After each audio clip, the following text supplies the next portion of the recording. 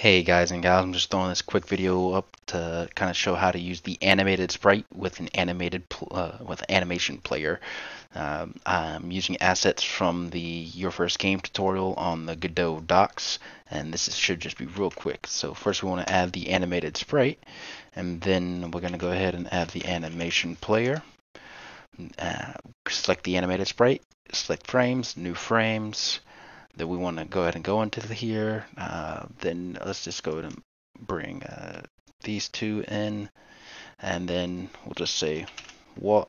We'll just call this walk, and then we'll click this icon up here for a new animation, and we'll just call this idle. And uh, this isn't exactly the right ones, but it'll clearly show the different animations playing.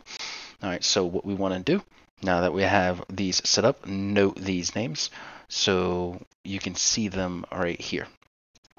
Now switch over to your animation player, click on animation, new, and I'm just going to name these the same to keep it consistent.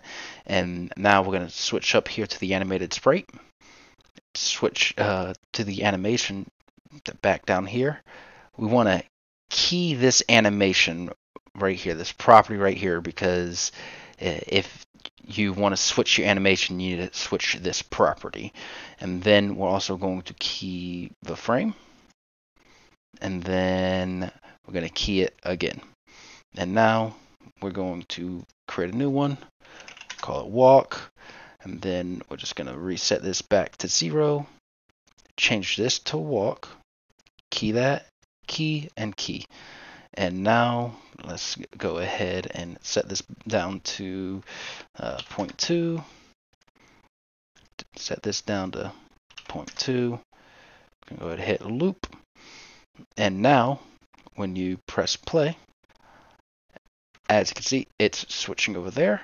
And then we can go ahead and change it to walk and, and it will do the same thing.